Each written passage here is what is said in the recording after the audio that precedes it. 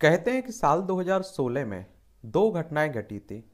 एक तो आप सभी जानते हैं कि भारत में नोटबंदी हुई थी और जिसका प्रभाव भारत में सबसे ज़्यादा देखा गया था। और एक घटना थी डोनाल्ड ट्रंप का, अमेरिका का राष्ट्रपति बनना।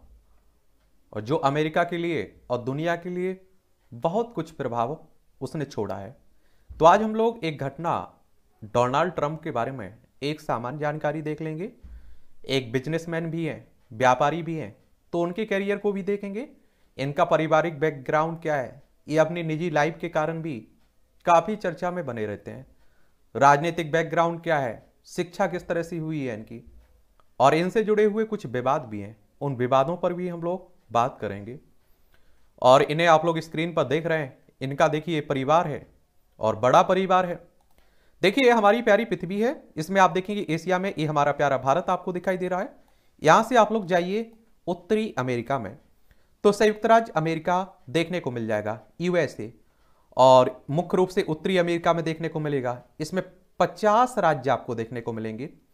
और वॉशिंगटन डीसी, इसकी क्या है? राजधानी आपको देखने को मिलेगी। देखिए यह है वॉशिंगटन। और न्यूयॉर्क आप लोगों को यहीं दिखाए, देखने को मिलेगा। तो यहीं के राष्ट्रपति की बात कर रहा हूँ। अगर हम लोग डोनाल्ड ट्रंप के पूरे नाम की बात करें, कि इनका वास्तविक नाम क्या है डोनाल्ड ट्रंप का तो इनका पूरा नाम क्या है? डोनाल्ड, जॉन ट्रंप, और इनका जन्म होता है 14 जून 1946 में। अमेरिका की क्वीन न्यूयॉर्क में हुआ था। Donald Trump Trump C Fred और मरियम एनी की चौथे संतान थे। इनके अन्य चार भाई बहन और हैं और ट्रंप के पिता और दादा, दादी जर्मन आप्रवासियों, आप्रवासी भी रहे थे। उनके दादाजी उनने अठारह में अमेरिकन नागरिकता प्राप्त कर ली थी। डोनाल्ड के पिता व्यवसायी थे, बिजनेसमैन थे, जो कि एलिजाबेथ ट्रंप एंड सन्स के नाम से कंस्ट्रक्शन का व्यवसाय करते थे, व्यापार करते थे। अगर हम लोग डोनाल्ड ट्रंप की शिक्षा की बात करें तो डोनाल्ड बचपन से ही एक ऊर्जावान, मुखर बच्चा था और इनके पिता उन्हें तेरह साल की उम्र में न्यूयॉर्क की मिलिट्री अकेडमी में एडमिशन करवा दिए ताकि उनके अंदर डिसिप्लिन और पॉजिटिव सोच पैदा हो। ट्रंप अकादमी में अच्छा प्रदर्शन किया और 1964 में अपने कॉलेज की लीडर चुने गए। वे अपने कॉलेज में कई खेल के कप्तान भी रह चुके। ट्रंप पेंसिल्वेनिया विश्वविद्यालय के ब्राटन स्कूल को स्थानांतरित करने से पहले दो साल के लिए फॉर्डम विश्वविद्यालय में भाग लिया इन्होंने। वह अर्थशास्त्र में एक विज्ञान विज्ञान स्नातक के साथ उन्नीस में स्नातक उपाधि प्राप्त की। यानी कि आप लोग कह सकते हैं कि काफ़ी पढ़े लिखे भी हैं। अगर हम लोग निजी ज़िंदगी की बात करें तो डोनाल्ड ट्रंप ने अभी तक तीन शादियाँ की और कुछ लोगों के साथ कुछ और के साथ इनके अफेयर की भी बातें होती रहती हैं। सबसे पहले 1970 में इवाना से की इन्होंने, जो उन्नीस में तलाक हो गया था। उस समय ट्रंप की काफ़ी आलोचना भी हुई थी और इसके बाद उन्नीस में प्रसिद्ध अभिनेत्री मरला मेपल्स से शादी की और जिनसे अफेयर के चर्चे काफ़ी पहले से थे। मेपल्स ने ट्रंप के बेटे को जन्म दिया, जो कि ट्रंप की चौथी संतान थी। ये शादी भी ज़्यादा दिन तक नहीं टिक सकी और उन्नीस सौ निन्यानवे में दोनों के बीच तलाक हो गया। और इस तलाक के में ट्रंप को दो बिलियन डॉलर मल्ला को देना पड़े थे। और बाद में आप देखें 2005 में ट्रंप ने मशहूर मॉडल मेलनिया कनोस से शादी की, जो 2006 में ट्रंप की पांचवी संतान को जन्म दिया था। और आप देखिए कि हमारे देश में शादी की अलग ही बात होती है कि एक बार अगर कोई शादी कर लेता है तो आप देखते हैं उससे किसी भी तरह से रहे, उन दोनों को पूरी ज़िंदगी साथ रहना होता है, परंपरा है हमारे यहाँ की, लेकिन वो भी बदल रही है। और मुझे ऐसा अच्छा भी लगता है कि आप देखेंगे, तलाक हो गया, फिर ये हो गया, फिर दूसरी शादी कर ली, तीसरी शादी कर ली। अगर हम लोग डोनाल्ड ट्रंप के बिज़नेस कैरियर की बात करें तो ट्रंप ने अपने बिज़नेस कैरियर की शुरुआत अपने पिता के साथ साझा बिज़नेस के रूम में ब्रुकलिन, न्यूयॉर्क से शुरू की थी। शुरू में अपने पिता की पसंदीदा मध्यम वर्गीय किराए के मकान में ब्रुकलिन, क्रीन्स और स्टेटन द्वीप के क्षेत्र पर ध्यान केंद्रित किया। लेकिन पिता की इच्छा के बाद बाद में उन्होंने 1971 में खुद का रियल एस्टेट बिज़नेस की शुरुआत की, जिसका नाम उन्होंने मनहट्टन रियल एस्टेट रखा था। ट्रंप ने शुरुआत से ही सक्सेस की सीढ़ियाँ चढ़ते गए और रियल एस्टेट के मज़े हुए खिलाड़ी बन गए। उन्होंने अपने काम के ज़रिए दुनिया दुनिया में अपनी पहचान बनाई और सबसे ज़्यादा प्रसिद्ध रहे उन्हें Fifth Avenue, Trump Tower, luxury आवासीय home, Trump Park, Trump Plaza, Trump Palace 610 Park Avenue और ट्रंप बर्ड टावर आदि से प्राप्त हुई है। इसके अलावा उन्होंने कई इमारतों को भी डिज़ाइन किया, जिनमें जेकोब जाविस्टस सेंटर भी शामिल है, जिसे अब West Thirty Fourth Street Rail Road के नाम से भी जानते हैं। इसके लिए ट्रंप को अवार्ड भी मिले। ट्रंप ने कई होटल और प्रसिद्ध इमारतों का भी निर्माण कर चुका है, जिनमें होटल प्लाजा भी शामिल है। क्या होटल प्लाजा भी शामिल है? इसके साथ ही नाइन नाई के टाउन में अपना सबसे बड़ा स्टोर ट्रंप के अधीन शुरू किया 2008 में। जूसी ने दुनिया का सबसे बड़ा स्टोर ट्रंप टावर में ओपन किया। उन्नीस में में Trump International Hotel and Tower ने दुनिया के लिए अपने दरवाजे खोले। ट्रंप की बावन मंजिला इमारत में कई स्टोर, होटल एवं आवासीय निर्माण किए गए हैं। यह स्थान मैनहट्टन के बेस्ट साइड के चौराहे एवं सेंट्रल पार्क पश्चिम में कोलंबस सर्कल पर बना हुआ है। यह दुनिया के सबसे प्रसिद्ध आर्किटेक्ट फिलिप जॉनसन द्वारा बनाया गया था। और इस निर्माण को यूनाइटेड स्टेट में सर्वाधिक विक्रय, धन एवं किराया मिलता है। और ट्रंप न्यूयॉर्क सिटी के बहुत बड़े भाग के डेवलपर भी रहे हैं। सौ एकड़ ज़मीन पर कंस्ट्रक्शन के लिए न्यूयॉर्क प्लानिंग कमीशन द्वारा सबसे बड़ा अप्रूवल दिया गया। यह स्थान हैंडसम नदी के सामने बावन से बहत्तर स्ट्रीट पर बना भूभाग है, जहाँ पर आप देखें सोलह इमारतें हैं, जिनमें से नौ ट्रंप की हैं, बाकी बेची गई हैं। ट्रंप ने ट्रंप पैलेस पर 25 एकड़ तट पार्क न्यूयॉर्क शहर में 700 फुट उकेरी घाट का दान भी दिया है। अगर हम लोग डोनाल्ड ट्रंप के जीवन में काफ़ी उथाव चढ़ाव भी रहे ट्रंप ने केवल आसमान को छुआ है और उनके जीवन में एक ऐसा समय भी आया जब उन पर रेड का बोझ बढ़ गया। यह बात 80 के दशक की है, जब रियल एस्टेट व्यापार पर मंदी का दौर था। उस वक्त ट्रंप भी इस मंदी के दौर में फंस गए थे। लेकिन यह समय बहुत देर तक नहीं रहा। और ट्रंप ने उन्नीस में अपने बिज़नेस को दो बिलियन डॉलर तक पहुँचाया, जो कि नब्बे, नौ मिलियन डॉलर के गर्थ में था।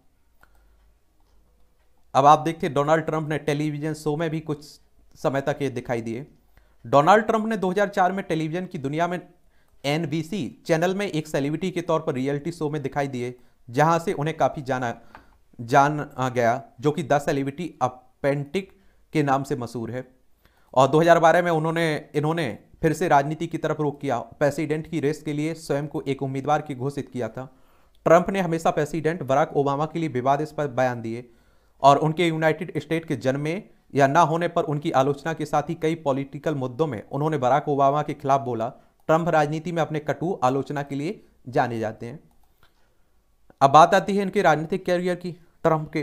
तो ट्रंप ने अपने राजनीतिक कैरियर की शुरुआत अक्टूबर 1999 में रिफॉर्म पॉलिटिकल पार्टी के ज़रिए 2000 के राष्ट्रपति इलेक्शन की दौड़ में शामिल हुए थे। लेकिन बिज़नेस में कुछ परेशानियों के कारण अगस्त 2000 में ट्रंप को वापस अपने काम की तरफ़ जाना पड़ा था। फिर आप देखेंगे कि साल 2012 में इन्होंने फिर से राजनीतिक, राजनीति की तरफ़ रुख किया और प्रेसिडेंट की रेस के लिए खुद को उम्मीदवार घोषित किया और ट्रंप ने हमेशा ही राष्ट्रपति बराक ओबामा को अड़े हाथ लिया।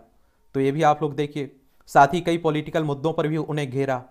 और ट्रंप अपनी बेबाक कटु और आलोचना के लिए जाने जाते हैं।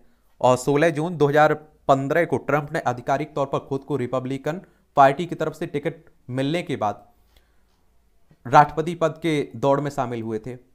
और ये आप देखिए, उन्होंने यह घोषणा ट्रंप हाउस न्यूयॉर्क से की थी। उनके अपोजिट में हेलेरी क्लिंटन थी। इसके बाद अरबपति डोनाल्ड ट्रंप ने सभी बाधाओं को पार करते हुए चुनावी मुकाबले में अनुभवी नेता हेलेंटी क्लिंटन को मात दी थी और इसके साथ ही वो पैंतालीसवें अमेरिका के राष्ट्रपति बने थे। इन्हें बहुत सारे पुरस्कार भी मिले हैं इनके कामों के लिए। ये भी आप लोग देख लीजिए। उन्नीस में यहूदी राष्ट्रीय स्वास्थ्य के लिए मानवतावादी पुरस्कार इन्हें दिया गया था। उन्नीस में यहूदी राष्ट्रीय कोष द्वारा ट्री ऑफ़ लाइफ अवार्ड भी मिला था। उन्नीस सौ छियासी में Ellis Island Medal of Honor प्राप्त करता भी है। उन्नीस सौ इक्यानवे में गोल्डन रास्पबेरी अवार्ड फाउंडेशन द्वारा वर्स्ट सपोर्टिंग एक्टर भी मिला था इन्हें अवार्ड। उन्नीस में फ्रीडम फाउंडेशन की ओर से राष्ट्रपति पदक मिला था। 2007 में Star on the Hollywood Walk of Fame से सम्मानित किए गए थे। 2007 में आप देखिए मोहम्मद अली उद्यमी पुरस्कार भी मिला था। 2011 में लुइस पॉप लाइव फाउंडेशन की ओर से प्रेसिडेंशियल हीरो अवार्ड भी दिया गया था इन्हें। फिर आप देखें 2013 में डब्ल्यू हॉल ऑफ़ फ्रेम में शामिल किया गया था। फिर आप देखें 2015 में New Jersey Boxing Hall of Fame में भी शामिल किया गया था। 2016 में टाइम मैगजीन द्वारा पर्सन ऑफ़ द ईयर चुना गया था। 2016 में फाइनेंशियल टाइम्स द्वारा पर्सन ऑफ़ द ईयर चुना गया था। 2017 में the Friends of Zion Museum से फ्रेंड्स ऑफ़ सियोन अवार्ड भी मिला था। 2017 में ही आप देखें, स्पोर्ट्स बिज़नेस पर्सन द्वारा सबसे प्रभावशाली व्यक्ति भी चुने गए थे। 2018 में Atlantic City Boxing Hall of Fame में शामिल किया गया था। 2018 में घायल योद्धा परियोजना पुरस्कार भी मिला था। 2019 में टाइम पत्रिका की दुनिया के सब, सौ सबसे प्रभावशाली लोगों में इसकी सूची में शामिल थे। 2000 आप देखें, कानून में प्रथम चरण अधिनियम पर हस्ताक्षर करने के लिए 2019 में द्विपक्षीय न्याय पुरस्कार भी इन्हें दिया गया था।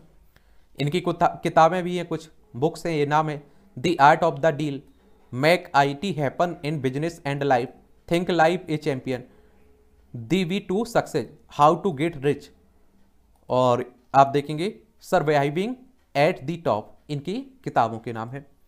और जैसा कि आपको बताया कि इनसे जुड़े हुए कुछ विवाद भी हैं, इन विवादों को भी देख लीजिए।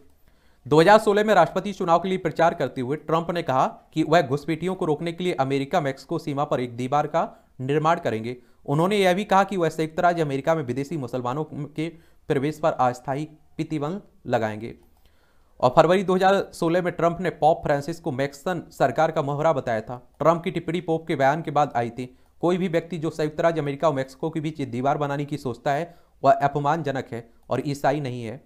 फिर आप देखिए मई 2017 में रूसी हस्तक्षेप और 2016 के अमेरिकी राष्ट्रपति चुनाव से पहले रूसी अधिकारियों और ट्रंप सहयोगियों के बीच संदिग्ध संबंधों की जाँच के लिए एक विशेष वकील की जाँच, वकील जाँच की स्थापना भी की गई थी। फिर आप देखेंगे सितंबर 2019 में एक भीसल बिलोवर ने आरोप लगाया कि ट्रंप ने यूक्रेन के राष्ट्रपति से 2020 के राष्ट्रपति चुनाव में ट्रंप के प्रतिद्वंदी जो बाइडन के खिलाफ जाँच शुरू करने के लिए कहा था। उन्होंने यूक्रेन और अन्य विदेशी देशों से बाइडन के खिलाफ हानिकारक बयान देने का आह्वान भी किया था। फिर आप देखेंगे 19 दिसंबर 2019 को सत्ता के दुरुपयोग और कांग्रेस के अवरोध के लिए प्रतिनिधि सभा द्वारा उन पर महाभियोग भी चलाया गया था। और फिर आप देखिए तीन जनवरी 2020 को ब्राइट हाउस ने ट्वीट किया कि डोनाल्ड ट्रंप के आदेश पर शीर्ष ईरानी नेता जनरल कासिम सुलेमानी अमेरिकी राजनयिकों पर हमले की योजना बनाने के लिए ड्रोन हमले में मारे गए थे। और हड़ताल की खबर के बाद कांग्रेस के कई सदस्यों ने इस कदम की आलोचना की थी, क्योंकि ड्रोन हमले से पहले कांग्रेस की कोई मंजूरी नहीं ली गई थी। अमेरिकी पॉन फ़िल्म अभिनेत्री स्टॉर्मी डेनियल्स ने आरोप लगाया इन्हों पर कि 2006 में इन्होंने ट्रंप के साथ एक संबंध था, जो ट्रंप ने इनकार कर दिया था। जनवरी 2018 में यह बताया गया था कि 2016 के राष्ट्रपति चुनाव के ठीक पहले डेनियल को गैर प्रकटीकरण समझौते के हिस्से के रूप में ट्रंप के वकील माइकल कोहेन ने, आप देखें, एक लाख तीस हज़ार डॉलर का भुगतान किया था। और कोहेन के बाद में, कोहेन ने बाद में कहा कि उसने उसे अपने पैसे के साथ भुगतान किया। फरवरी 2018 में डेनियल ने कोहेन की कंपनी को एनडीए से रिहा होने के लिए कहा और उसे अपनी कहानी बताने की अनुमति दी थी। और कोहेन के मामले में आप देखते हैं कि मामले पर चर्चा करने से रोकने के लिए एक सहम आदेश भी प्राप्त किया था। और अभी आप देखते हैं कि कोर्ट में उन्हें हाजिर भी होना पड़ा था। और आप देख रहे हैं कि चल रहा है, इन पर वो वो भी चल रहा है। और आगे क्या होती है कार्रवाई, ये तो आने वाला वक्त ही बताएगा। तो एक आप लोग शॉर्ट बायोग्राफी कह सकते हैं डोनाल्ड ट्रंप की, जो काफ़ी चर्चा में भी रहते हैं। और बताइए किसी के बारे में अगर बात करनी हो तो कर सकते हैं, क्योंकि हम लोग जो चर्चा में रहता है उसके बारे में हम लोग देखते रहते, जानते रहते हैं।